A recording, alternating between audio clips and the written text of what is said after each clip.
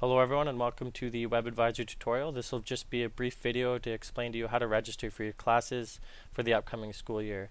To start we can go to the Laurentian website, so www.laurentian.ca. That'll bring us to the home page. On the right hand side uh, there's a quick links bar. We can just click on that.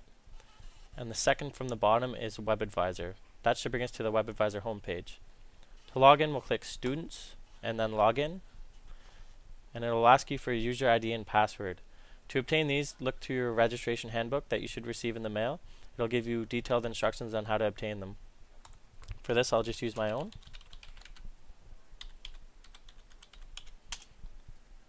Alright, so once you log in, it'll bring you to your um, students menu. This just has um, information on your academics, your financials, and other relevant information. Um, we'll go down to the bottom left where it says registration and click register for sections. And then I find the one that works easiest for me is search and register for sections.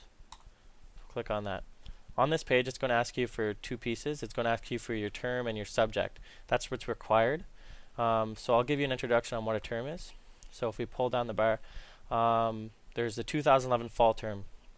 That's um, any course that runs usually from September to December with uh, that consists of three credits and usually with exams in December.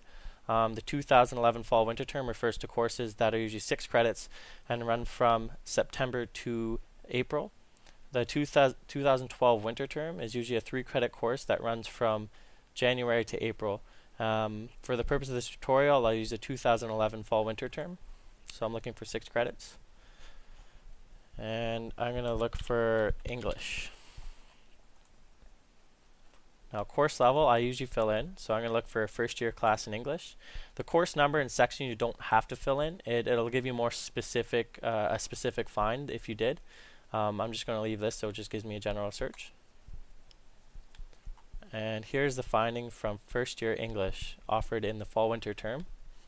Um, I'm going to register for 17051, so that's going to be Intro to Writing and English Studies.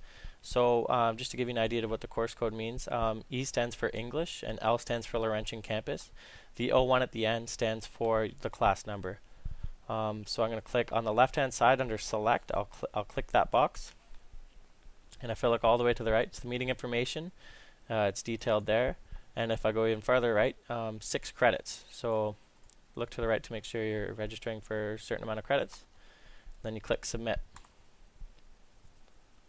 So let's bring me another page where I'm able to register for it. So I'll, under action, I'll bring down that bar and click register. And then at the very bottom, I'll click submit.